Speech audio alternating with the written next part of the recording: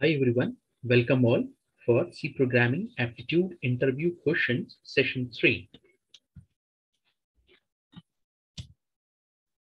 This is the first question. Int main, int k is equal to 0, while k less than or equal to 3 separated by comma, k equal to 0, comma, k less than 5, comma, k assigned for the 1, comma, k less than 2.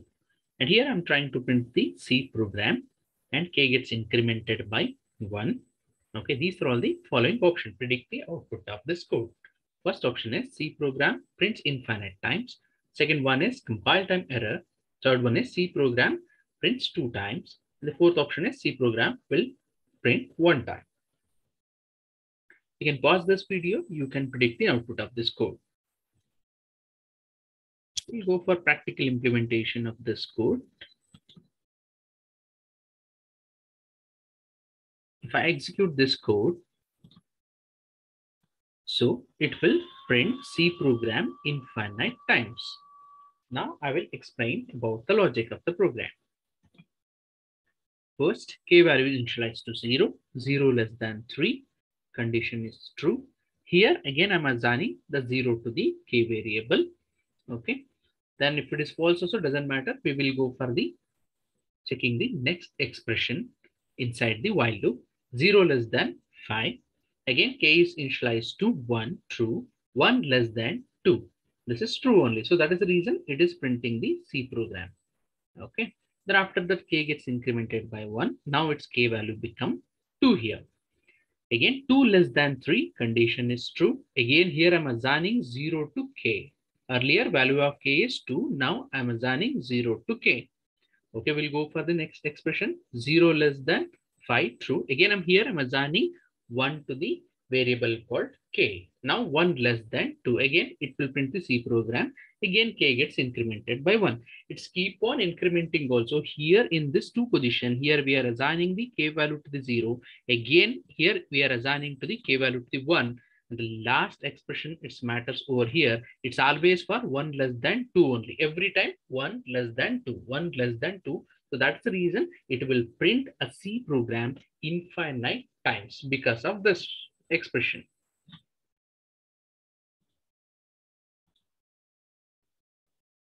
So this is the second question. Int main, int a is equal to decrement operator followed by the 10 and printf. I'm trying to print the value of a here. So these are all the following options, guys. First one is compile time error. The second one is 9. And the third one is runtime error. And the fourth one is 10. So you can pause this video. You can predict the output of this code.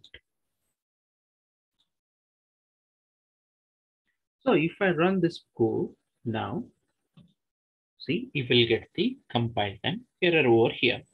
So why? Because here decrement here I'm using the pre-decrement. You can use the decrement or increment. We cannot initialize with any value. I will repeat once again. You can use the decrement or else you can use the increment. Okay, we cannot initialize with any value. So that's the reason you are getting the compile time error. This is the next question, third question, int main int d is equal to 1 while loop d post increment less than printf and followed by the C program. And here inside the while loop, I am trying to print the value of d. So these are all the following options. The first option is C program 2, C program 3, C program 4, C program 5, followed by the C program. Second option is C program 2, C program 3, C program 4, C program 5. And the third option is compile time error. And the fourth option is runtime error. Now you can predict the output of this code. Now, if I run this code, so I will use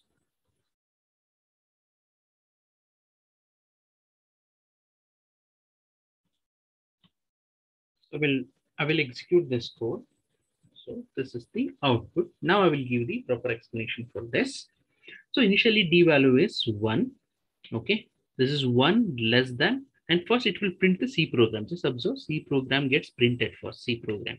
And I will take the length of it. What is the length of it now? One, two, three, four, five. So now I just compare one less than five. One less than 5 condition become true the d value become this is a post increment it's become 2 so it will print the 2 here i will repeat once again first it will print the c program then i will take the length of it 1 2 3 4 5 okay then now 1 less than 5 condition become true then the d value is post increment right so that is the reason d value gets incremented by 1 it's become 2 then 2 gets printed on the screen for the next iteration, first C program gets printed, 2 less than 5, it's become, condition become true, the D value become 3 and D value gets printed on the screen. Again, it will print the C program. The value of the D is 3, 3 less than 5 and because of the post increment, the value of the D become 4, 4 get printed on the screen. After that, again, C gets printed on the C, C program, then 4 less than 5 condition become true, 5 gets printed on the screen. Then after that, uh, d value is 5 and C program gets printed and 5 less than 5 condition become false. Then we are coming out of the while loop. This is the explanation for the scope.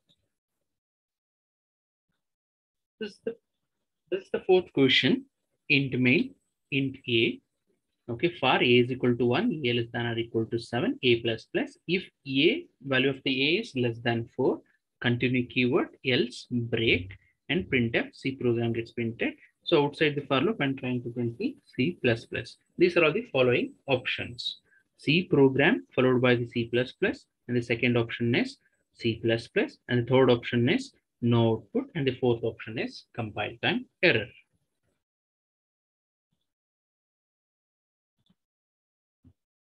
Now, if I execute this code, final output is C++ plus gets printed on the screen. Now I will trace this code. int a, a is initialized to 1, 1 less than or equal to 7, condition become true, We'll get inside. The value of the a is 1, 1 less than 4. When the continue keyword encounter, it skips the subsequent statement followed by the continue and it is pointing to the incremental area of the for loop.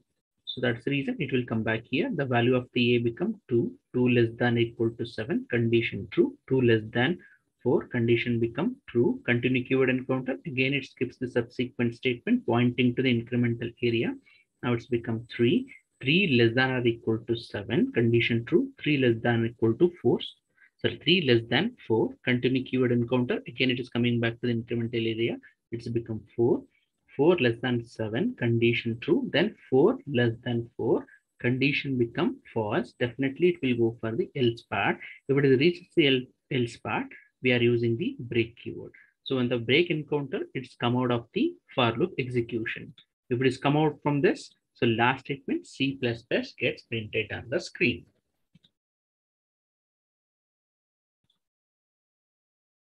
This is the fifth question. Int main printf percentage d 10.2 and these are all the following options. 10 garbage value 10.2 followed by five zeros and the fourth option is compile time error predict the output of the score.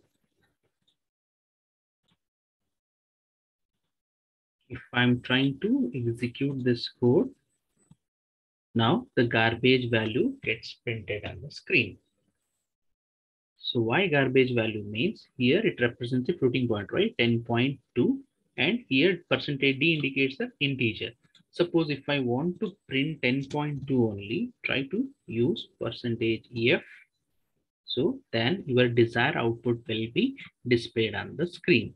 If I use a D over here, so we will get the garbage value. Keep practicing well. See you in my next session. Thank you.